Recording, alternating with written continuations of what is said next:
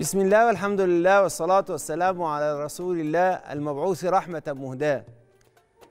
ما زلنا مع أنوار القرآن الكريم وبنسبح ونحن في غاية التنور وفي غاية الذوق لحلاوة أنوار القرآن الكريم وإحنا مع الجزء ال 13 من أجزاء القرآن الكريم وإحنا بنغوص في أعماق هذه الأنوار المتتالية اللي في الحقيقة بتخلي حياتنا مليئة بالاتساع ومليئة بالبركة.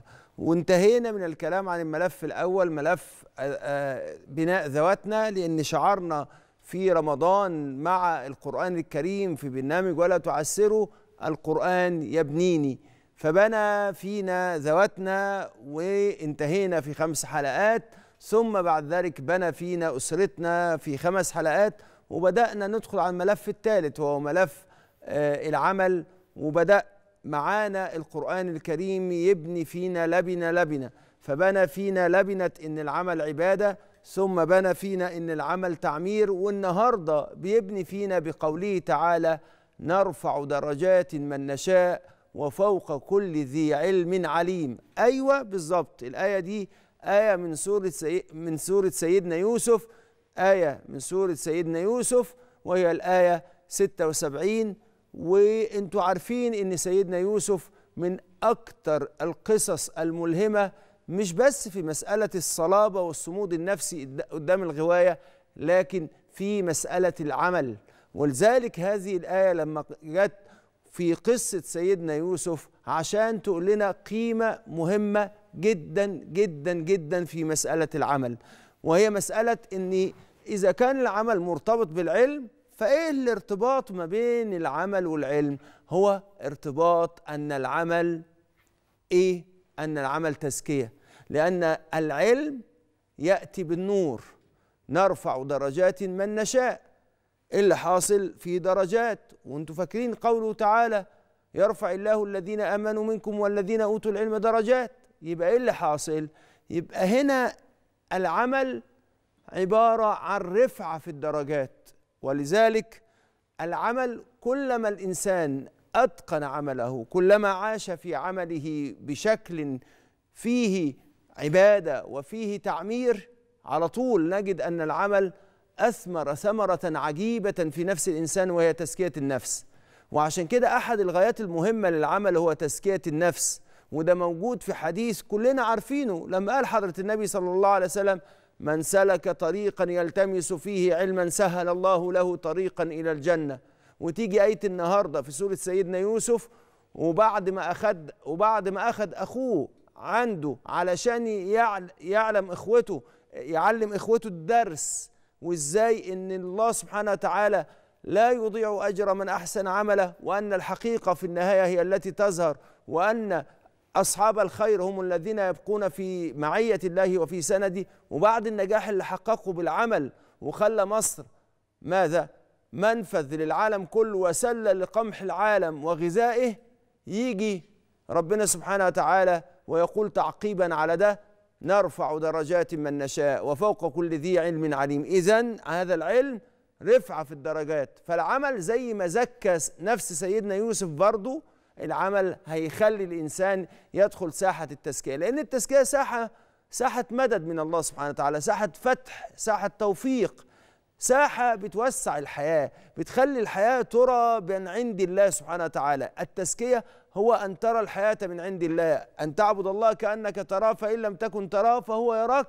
اذا التزكية هو أن ترى الحياة من عند الله. العمل بيجعلك ترى الحياة من عند الله. فتبقى حياتك في حضرة في حضرة الله سبحانه وتعالى في حضرة قدسي فيغرس فيك ويسقيك بشهد نظرك إليه سبحانه وتعالى حتى تزهر في نفسك أجمل أشياء ويظهر فيك جمال مولانا سبحانه وتعالى. ولذلك رأس التزكية الحب.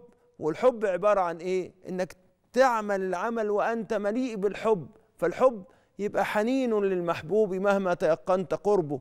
وبر بالمحبوب مهما مهما غمرك فضله. وده معناه إيه؟ إن أنت وبتعمل العمل بتبقى عندك حنين إلى القرب من الله سبحانه وتعالى. تعمل وتبني وتخلي الناس تتعلم وأنت في الحالة دي أنت إيه اللي بيحصل؟ بتقترب من الله سبحانه وتعالى. وتبر الله سبحانه وتعالى مش لأن الله محتاج ولكن لأن البر ده بيصل إلى مولاك فإيه اللي حاصل؟ فتسعد بهذا العمل الصالح. وده هيخليك تشوف نعمة ربنا سبحانه وتعالى في العمل ويقربك من ربنا.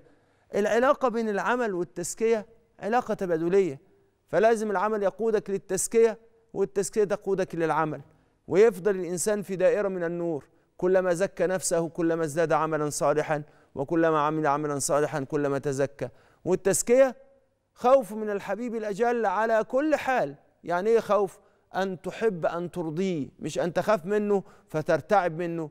عشان تذوق شهد الجمال في تجلي الجلال عليك ويأتيك مدد لله سبحانه وتعالى بالاستقامة في كل حال فتأتيك الحلول من حيث لا تدري لما تمشي على الاستقامة. وهم عدم الاحتمال اللي بيحصل عند كثير من الناس ده بيزال بأول ما تعمل وتسير إلى الله سبحانه وتعالى. أكترنا بيتصور إن حياته هتكون أكتر راحة وسعادة إذا كانت خالية من الصعوبات والشدائد. فيصبح مؤشر الراحة عندنا إن إحنا نصل إلى رغباتنا وأمنياتنا بلا مجهود وبلا مشقة. مين قال إن دي اسمها مشقة بمعنى إن هي حاجة تؤلمك وتوجعك؟ دي مشقة بمعنى إن هي بتظهر أحسن ما فيك وتجنبك مشقة أن تعيش في مشقة في مستقبل عمرك. يبقى تعريف الراحة بأنها عدم التعب من خدع النفس الأمارة بالسوء وده هتلاقيه في جزء النهاردة في قوله تعالى وما أبرئ نفسي إن النفس لأمارة بالسوء يبقى إيه؟ إلا من رحم ربي. فهي توقعك في فخها وتخليك تعيش في مغالطاتها. وتقول لك إذا كن إذا كانت الراحة هي عدم التعب والدنيا لا تخلو من التعب إذا لا راحة في هذه الدنيا. فتسلم منك حب الحياة حب الحياة اللي أنت لو عشته مش هتقدر تعمل عمل صحيح. ولا هيبقى الكلام دوت ممكن يوصلك إلى مرضاة الله. وبالكلام الفاسد ده يزداد العاطلين. ويبقى فالعاطلون هم أكثر الناس راحة مع أنهم الأقل تعبا. وده كلام فارغ وكلام مش صحيح. والراضون والناجحون يشعرون بالراحة مع أنهم يخرجون من تعب لتعب. من بات كلا من عمل يده بات مغفورا له. شوف التزكية. ولو عايز تعيش بالتزكية في ساحة العمل لا تتوقف عن العمل أبدا. لأن الله سبحانه وتعالى يحب من العمل أدومه وإن قل ولو كان قليلا أو ليس له طعم العمل ليه طعم. ولأن استمرار العمل وقت الشدائد يغرس فيك الرجاء ويثبت فيك شجرة قلبك في أرض اليقين بدوام المدد من الله سبحانه وتعالى وقرب الفرج والعطاء. ولذلك في ثلاث صفات للمزكي لازم تكون معاك عشان تقدر تدوق حلاوة العمل. اللي عايز يعيش إن العمل تزكية أول حاجة. المحبة. لازم محبته تاخده بخوفه إلى إلى الرجاء. الخوف بتاعك يوديك إلى رجاء الله سبحانه وتعالى. لأن أنت مش مش مرعوب من الله. أنت خايف منه يعني خايف إن هو ما يرضاش عنك. فخوفك من الله يوديك إلى إنك أنت ترجوه إن هو يوفقك ويأخذك إليه. وإيه اللي يحصل؟ وتأخذ برجائك ويأخذك رجائك إلى خوفك من سيدك. ويبقى هذه الدائرة أن يأخذك الخوف من الله إلى الرجاء فيه والرجاء يأخذك إلى الخوف. يبقى تاني حاجة أن أنت ترجوه. أن أنت ترجوه أنه يقبلك. لا لأنه له حق عليك ولكن لأنك عبد لديه سبحانه وتعالى. وثالث حاجة الخوف يخاف أن هو لا يرضى عنه حبيبه سبحانه وتعالى. ونعمل إيه بقى عشان نعيش بالتزكية في مجال العمل؟ أول حاجة إذا كنت عايز العمل ده يتحول إلى تزكية أول حاجة لازم نتدرب على إدارة الأزمات والشدائد. و و وتكون تدربنا على الأزمات والشدائد إن هي تخرج أحسن ما فينا أجمل ما فينا زي ما حصل مع سيدنا يوسف. الشدائد أخرجت أجمل ما فيه وابتكر حتى جعل مصر تخرج وتقدم نموذج للعالم في إدارة الأزمات وهو من أعظم النماذج اللي أدارها سيدنا يوسف حتى خرج بعام فيه يغاث الناس. ومن أهم المهارات اللي يجب أن أنت تتقنها أن أنت تقلب إن أنت تقلب الصعوبات حتى تخرج لك الصعوبات أهم سر فيها اللي هو إيه؟ ان في كل صعوبة مدد من الله سبحانه وتعالى. وفي كل صعوبة معاني وأنوار وتسديد وأشياء من المحاسن خبأها الله لك في هذه الشدة. ولذلك لازم نقلب الصعاب عشان نعيد قراءتها. فمن سنن الله سبحانه وتعالى في الكون إن لا تنزل شدة إلا ومعها ما يحلها وما يفكها لأن الله سبحانه وتعالى ما أنزل داء إلا وأنزل له دواء وما أنزل شدة إلا وأنزل معها عطاء. يا سلام. آه والله. ولذلك هذه الشدائد يمكن أن تتخلص بها لما تعرف أن السماء مليئة بالحلول وساعتها هتقلب نظرك في السماء بعين اليقين فتجد مدد مولاك. يبقى دي أول حاجة. تاني حاجة يبقى لازم تتدرب على أنك أنت تتعامل مع الشدائد بنفحات ومدد مولاك. تاني حاجة أن أنت تقول عشر مرات ربي أدرك عبدك من عودته مددك. بجميل ما عندك. تقول كده ربي أدرك عبدك من عودته مددك بجميل ما عندك. يبقى لازم تقول الكلام دوت عشان أنت تستمر إن العمل دوت ماذا؟ إن العمل ده مدد. وآخر حاجة لازم طول الوقت تراكم خبراتك وتدون على الأقل ثلاث خبرات وثلاث أشياء في العمل بتربط فيها قلبك بالعمل اللي أنت عملته وتصحح نيتك بيه عشان توصل لرب العالمين. وتكتب الديوان دوت اللي انت بتكتب فيه ديوان خبراتك اسمه ديوان وصل العمل بالرب الأجل. وساعتها لما هتكتب الكلام دوت وهتجد قد إيه المدد اللي بيجي لك من عند ربنا هتتزكى نفسك وتعيش في العمل ده بلا حول ولا قوة إلا بالله. فلا تعرف وجع ولا تعرف صعوبة ولكن تعرف فتحا وبركة ومددا وابوابا تفتح عندما تقول يا رب وأنت تخطو في سيرك الحثيث إلى الله فيكون معك الله. فلا تجد سوءا قط بل تجد مددا وينقلب كل تعب وكل شدة إلى شدة إلى شدة إلى جذبة تجذبك إلى الله. فإذا بالأبواب تفتح لك وترى عيانا جمال مدد الله وجمال تدبيره لك. نعم العمل تزكية لمن كان له قلب أو ألقى السمع وهو شهيد. يا رب ارزقنا إن إحنا نشوف التزكية في العمل ونشوف العمل إزاي بيربي فينا الرجولة اللي بتخلينا في ساحه مولانا على الدوام. يا رب العالمين يا أكرم الأكرمين اجعلنا رجالا نتزكى بالعمل ونتنور بالعمل ويكتب لنا الوصل معك يا رب العالمين بالعمل الصحيح الذي به نقبل عليك. على الدوام يا أرحم الراحمين. بعد الفاصل نكمل الكلام عن العمل تزكية وكمان نستقبل أسئلتكم مباركة وخاصة إن إحنا عندنا سؤال وصلنا عايزين نجاوب عليه ولكن كل ده بعد الفاصل. رجعنا لحضراتكم معانا صفحتنا على الفيسبوك صفحة برنامج ولا تعسروا اللي بنتلقى عليها أسئلتكم المباركة وتفضل جسر بيننا وبينكم يفتح لنا مجالس النور ويبقى الذكر عشان يصعد إلى الملأ الأعلى. يا رب اجعل ذكرنا دايما في الملأ الأعلى واجعل هذه المذا... هذه المجالس مشهودة منك يا رب العالمين. إحنا النهارده اتكلمنا عن معنى في غاية الأهمية. في ناس كتير ما بتلتفتش وهي رايحة الشغل إن هي بتتربى يعني بتصبح ربانيين. يعني إيه؟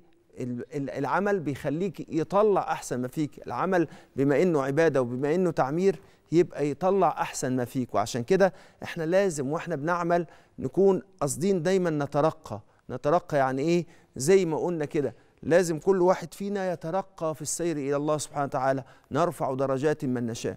يبقى اذا كل واحد فينا لازم يترقى. يترقى في عمله إيه؟ لازم يتدرب لازم كل يوم يستفيد حاجة جديدة في عمله. ولازم كمان يعبد الله سبحانه وتعالى ويدعو الله سبحانه وتعالى إنه يفتح عليه ويعطيه من مدده.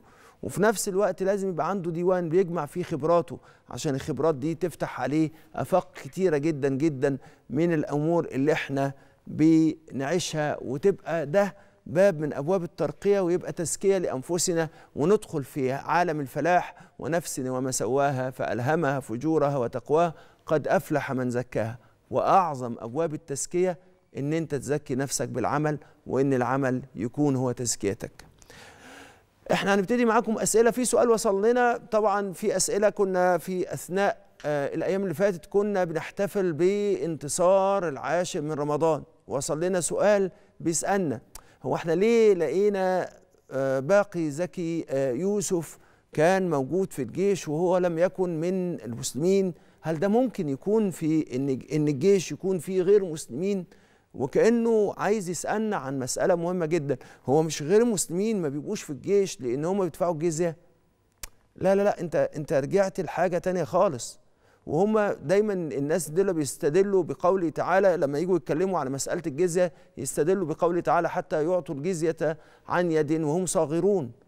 آه بس خلي بال حضرتك إن الكلام دوت لازم أنت أصلا تفهم يعني إيه قضية الجزية من أساسه.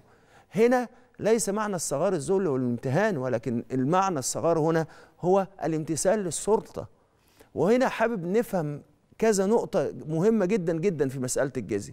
الجزية يا سادة لو أردت التعبير الصحيح عن الجزية الجزية مسألة إدارية وليست مسألة دينية. يعني مش واحد بيدفع فلوس في مقابلة إن هو يتسابع على دينه لكن واحد بيدفع فلوس في مقابلة إيه؟ في مقابلة تكلفة خدمة وهي خدمة الحماية. وليس عقوبة على دين وإنما هي للحماية. وهذا ما فهمه سيدنا خالد بن الوليد. إيه ده؟ وسيدنا خالد بن الوليد فهم الفهم ده؟ ده إحنا كلنا فاهمين الجزية ديت فيها نوع من أنواع المهانة لغير أهل دين الإسلام عشان هم يحسوا بإن الدين الإسلام ده دين أعلى منهم. وهل كده نفوس الناس تنشحر تنشرح للإسلام؟ وهل دي المعاملة اللي كان بيتعامل بيها رسول الله صلى الله عليه وسلم مع الناس في في المدينة؟ أكيد ما حصلش ده. يا سادة ده رسول الله سم أرسل المسلمين في الحبشة والذي ورد في السيرة بأنهم قاتلوا مع مع مع, مع النجاشي. فإزاي الكلام ده يكون هو ده الصحيح؟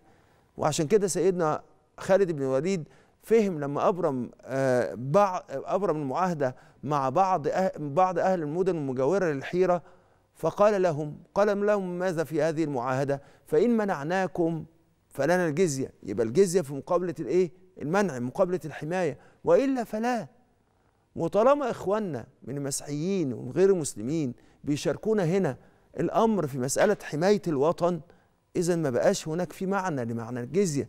لأن في الحقيقة هو مش بيدفع الجزيه لأنه على غير الدين لكن بيدفع الجزيه لأن هو ما بيشاركش في الجيش لما كان الجيش بيمتثل بأمور عبادية ممكن تضطروا إن هو يواجه إخوانه من نفس الدين ولكن دوت خلاص انتهى انتهى ليه؟ لأن إحنا بقينا هنا كمان نقدر نقول بشكل واضح إن الجزية ذهب محلها ذهب محلها ليه؟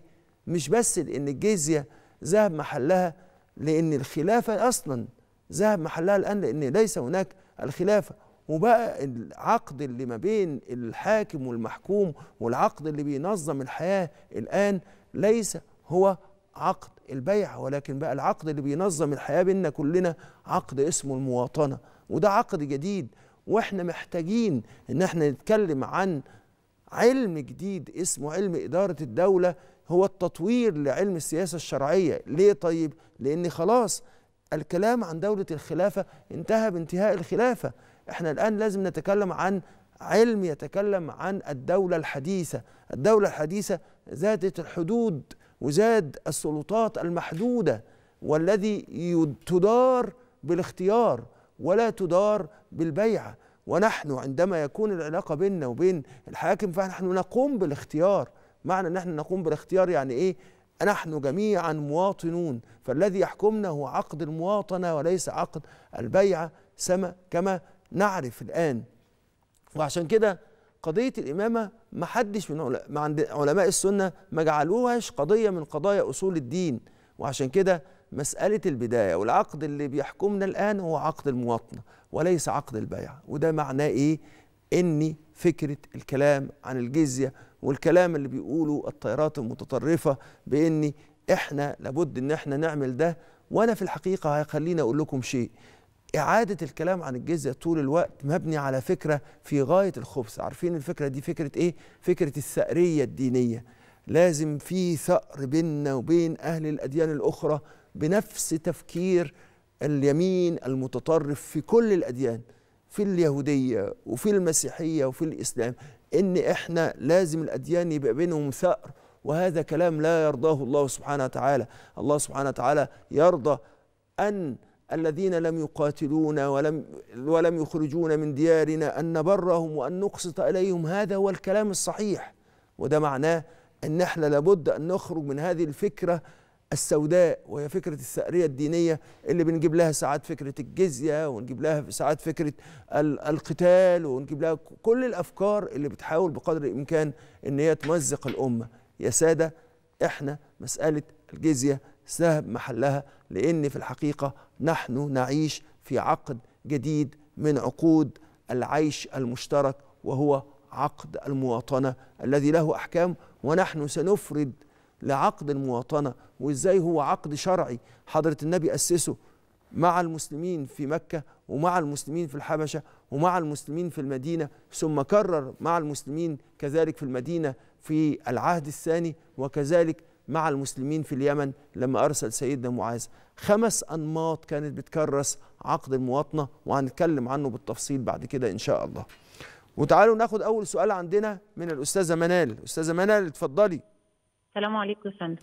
عليكم السلام ورحمة الله وبركاته أستاذة منال. آه، من فضلك والله أنا كان عندي سؤال. اتفضلي يا أستاذ منال. حضرتك أنا ليا إخواتي ثلاث صبيان وأنا البنت الرابعة الأخت الصغيرة ليهم يعني. نعم. آه، كان في ال- الشقة بتاعت والدي الله يرحمه كانت إيجار من البنك باسم طيب. الورثة الشرعيين طيب. جه البنك بعت لنا آه، اتملكوها. فإحنا اتملكناها جالنا مشتري عايز يشتريها فالمشتري هو اللي اتملكها. المشتري لما اتملكها البنك اداها لنا ان إحنا الاربعة شركاء فيها مش بورثه شرعيين فكده هتتقسم إزاي؟ هتتقسم هل أنا هاخد نص اخواتي ولا أنا واخواتي إحنا الاربعة زي بعض؟ مع اني ال يعني ال الاستاذ في الشؤون القانونية بتاع البنك قال لي يا أستاذة منال دلوقتي الشقة دي بقت شرك ليكوا أنتوا الاربعة انت واخواتك الصبيان الثلاثه طيب يا. أنا عايزة اعرف عشان أنا مش عايزة ادخل على بيتي ولا على اولادي اي قرش حرام. طيب يا ستي اولا ال- الشقة دي كانت شقة إيجار صح كده؟ وعقد الإيجار بينتهي بانتهاء بوفاه بو- بوفاة الشخص إلا أن يكون عقد الإيجار ده عقد ممتد.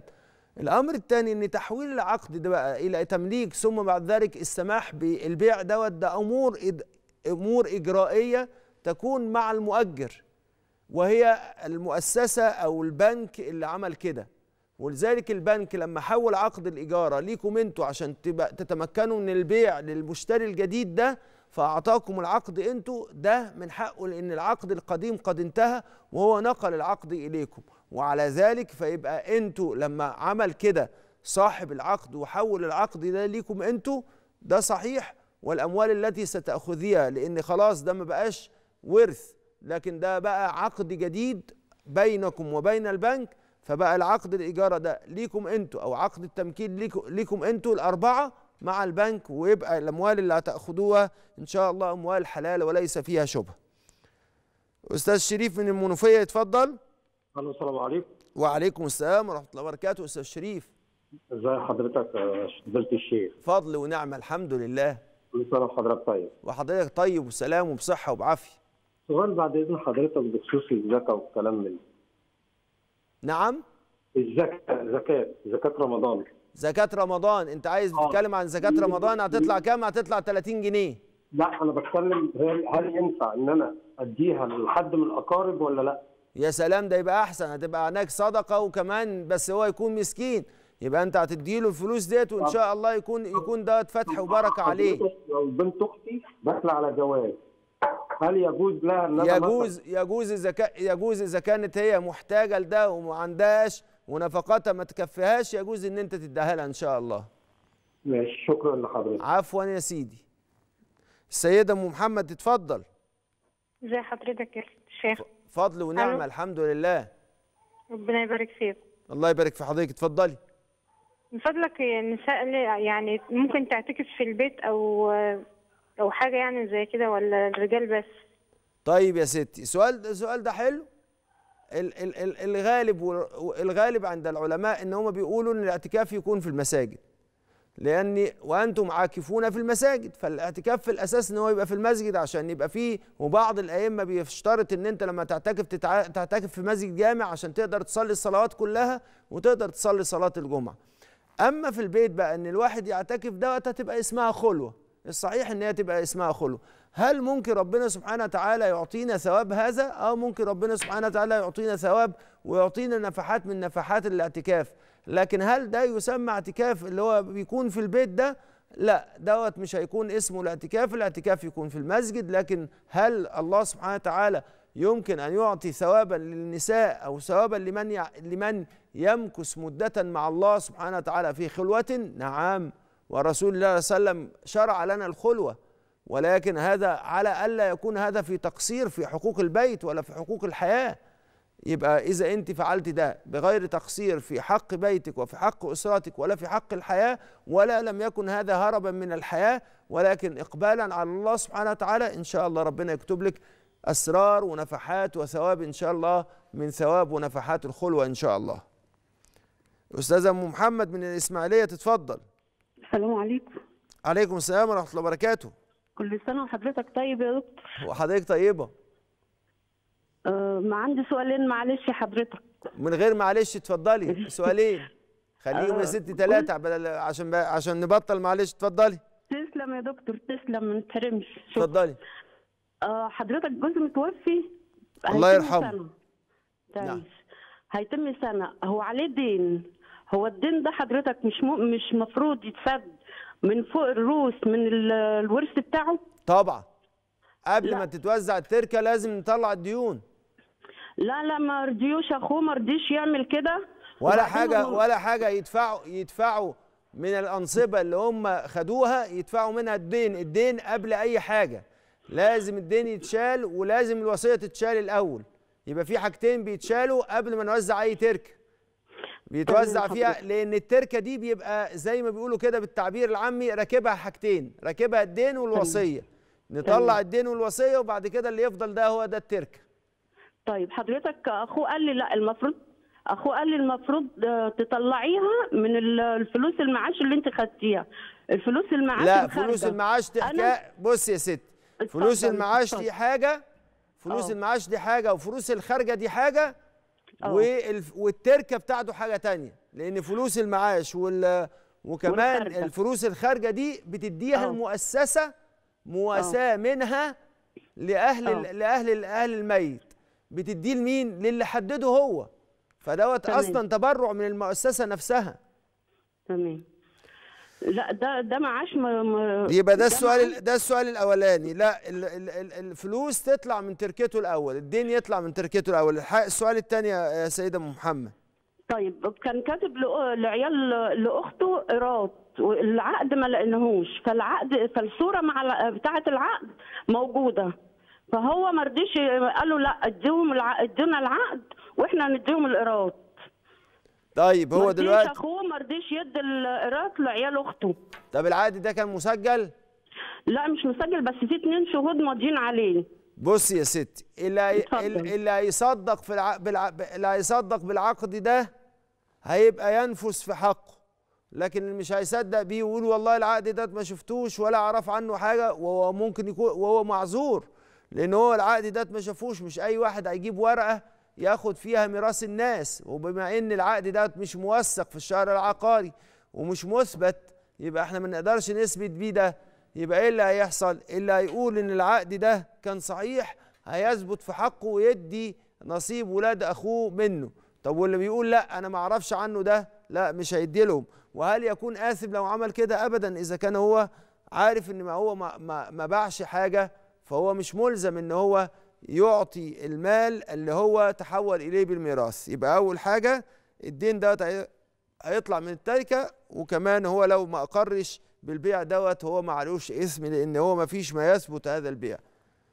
نعم. أستاذة آية من الأقصر تتفضل. أيوه عندي سؤال. السلام عليكم ورحمة الله وبركاته. وعليكم السلام ورحمة الله وبركاته. كنت عايزة أسأل يا شيخ أنا والدتي يعني من فترة كانت رجلها بتوجعها يعني ورحنا كشفنا لها وطلعت يعني عايزة تغيير مفصل وعملنا لها العملية وكده. وطبعا يعني والدي لي فترة يعني بيتخاصم معاها يعني وعايز حقوقه الشرعيه يعني وهي طبعا مانعينها الدكاترة من كده. وكل فترة يعني يقول يعني أنا عايز أتجوز والكلام ده وما بيصرفش عليها ولا بيعرفها بأي حاجة يعني أولادها هم اللي بيصرفوا عليها. سن الحاج ودلوقتي استني بس يا آية. استني يا آه. أستاذة آية هو سن الحاج كام دلوقتي؟ آه، 67 سنة. 67 سنة وبيقول آه. لها أنا عايز أروح أتجوز. طيب ماشي ماشي.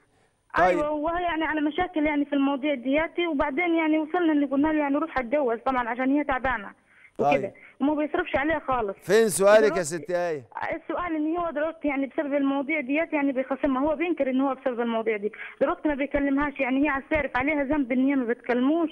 إن هو يعني ما بيكلمهاش ولا إيه يعني؟ هو لو كان ما بيكلمهاش عشان هو يا عيني هي يا عيني عندها دلوقتي مانع من الموانع يخليها مش قادرة تعمل الكلام ده فبيخاصمها عشان ربنا سبحانه وتعالى يعني كتب عليها هذا المرض اللي بيخليها ما تقدرش تعمل الكلام ده. آه يبقى غلطان ويبقى حرام عليه لأن هو في الحقيقة لا يكلف الله نفسا إلا وسعها وهي مش قادرة. الست عندها تغيير مفصل والدكاترة قايلين لها إن هي ما, تقدرش تعمل الكلام ده فهو لازم يقدر ده ويتقي الله فيها ولابد إن هو يحسن إليها. وحضرة النبي صلى الله عليه وسلم قال استوصوا بالنساء خيرا فما أكرمهن إلا كريم وما اهانهن إلا لئيم. فحج واحدة واحدة وخليك بس قلبك حنين على الست وإن شاء الله ربنا سبحانه وتعالى يتمم شفاها وإن شاء الله تكونوا في أحسن حال وفي خير حال يا رب العالمين. يا سادة بالله عليكم. آه والله بالله عليكم. بالله عليكم إحنا في كنز في نعمة. نعمة اسمها مصنع الرجالة. نعمة اسمها فضل ربنا العميم. نعمة بتخلي الإنسان يخرج أحسن ما فيه. بس لو هو حس فعلا إن هو من أهل المدد من ربنا العمل ده يا سيدي يخليك من أجمل الناس. لو عرفت إن العمل ده مش جاي عشان يطحنك ولا جاي عشان يهينك لا ده جاي عشان يجملك. جاي عشان يخرج أحسن ما فيك. وأوعى تقول لي أصل الناس بتعمل في العمل والناس بتعمل كده. أنت مش هتقدر تطلع أحسن ما فيك غير لما تكون بتواجه الصعوبة. لأن كل إنسان إذا كان في أسهل أحواله فممكن يدعي إن هو صادق وممكن يدعي إن هو عنده أخلاق حسنه لكن لما يبقى عنده ضغوط ويبقى العمل فيه مشقة ساعتها هتطلع الحاجة الحلوة منك بطعم زي الشهد. هتحس فيها بمدد ربنا وتحس بقد إيه ربنا سبحانه وتعالى ما كتبش عليك العمل عشان يعذبك ده كتب عليك العمل عشان يهذبك. يا رب هذبنا واجعلنا من أهل القرب لك واجعلنا يا رب دايما من أهل مددك ومن أهل كرمك ومن أهل فضلك. واجعل العمل يا رب باب مفتوح عشان نقبل عليك وباب مفتوح عشان نكون من أهل مودتك ونرى بعينينا مددك ونعمتك علينا بإن أنت اصطفتنا إن أنت تكتبنا في دواوين الرجال الذين صدقوا ما عاهدوا الله عليه. يا رب زكينا واجعل أعمالنا صالحة ومصلحة لقلوبنا ولأحوالنا. يا رب العالمين يا أكرم الأكرمين يا أرحم الراحمين اجعل عملنا دائما في أعمال الصالحين.